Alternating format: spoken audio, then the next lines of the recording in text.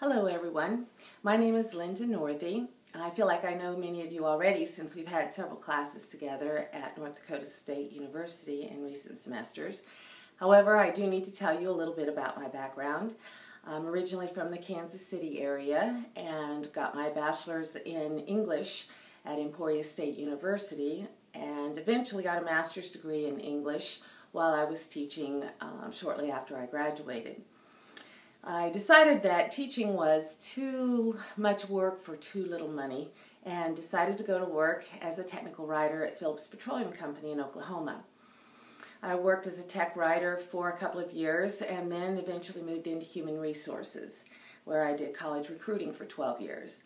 While I was working in HR, I went back to night school and got a bachelor's in business administration so I could pursue a career in business and industry.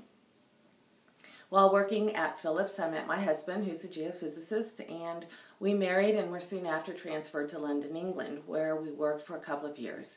That was a very interesting assignment, being able to work in an international setting. When we came back, I had my son and decided to go back to teaching. And while I was teaching, again, high school English, I decided, well, I'm going to go ahead and get a doctorate.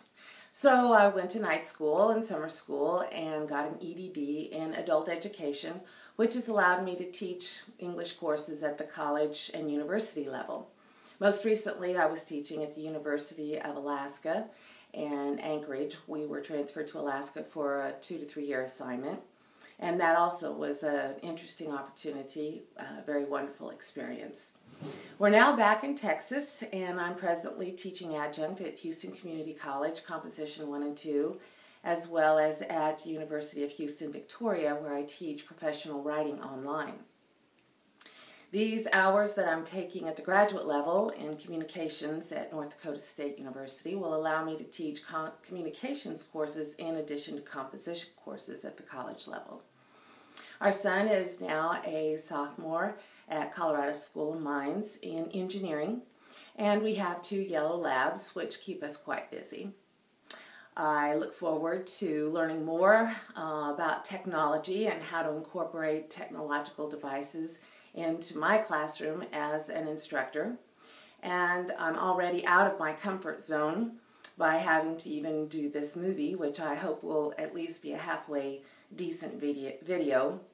I've been pretty impressed with some of the video productions of my classmates so far. I look forward to working with you the rest of the semester and good luck.